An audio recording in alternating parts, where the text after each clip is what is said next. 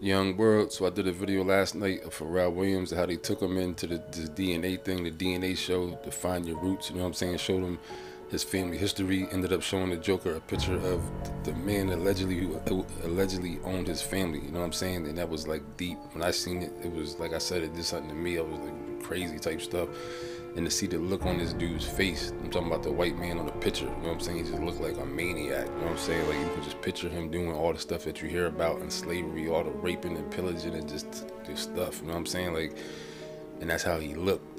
And then Pharrell seen it, like I said, it fried his brain for a second and broke him down. But this type of stuff leads to more questions because and the, and he, the Joker looked just like the dude. You know what I'm saying? That's the creepy thing about it. Pharrell looked just like the dude. He looked like a black version of the white man that owned his family. So that tells you right there what was going on. If this is all real and this is all true, that tells you what was going on back then and how he became to be and his family became to be because he looked just like this dude. And it's creepy, you know what I'm saying? But it leads to more questions as far as what a foundational black American is. Like, like also like what Dane Calloway was saying too, and Tariq Nasheed. And I, I, know that I know both of them jokers don't get along. with But like I'm not getting into all that. I'm just talking about from like a viewer watching both of them, me looking at both the information and taking it in. But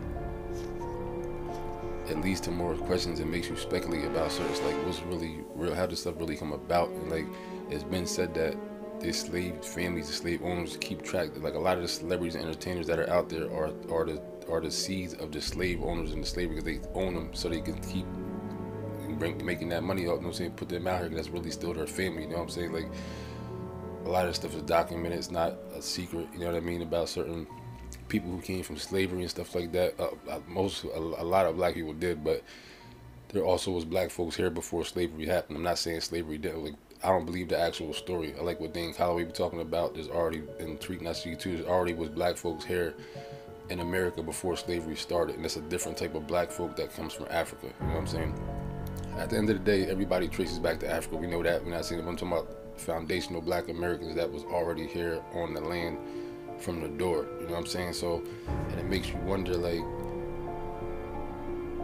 does a show like this, if this is like, is this put together to reinforce the idea of slavery? You know what I'm saying? And how, like, because there are, I've seen Dane Calloway put certain information saying that slavery was kind of not um not all of it, but some of it was just black people working. You know what I'm saying? Then it got grouped into calling it slavery.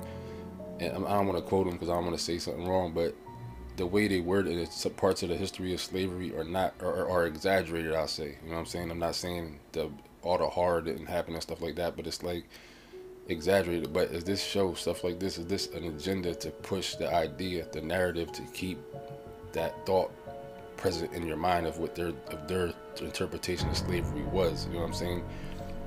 But if this is actually true and this is that dude that really owned his family, it's creepy because the Joker looked just like the dude. The lips, everything, the facial structure, the shades is like, damn, it looks crazy. And actual see something like that of the person who actually owned the dude it looks it's just it's mind blowing. You know what I mean? It's really creepy, but it appeared to have affected him.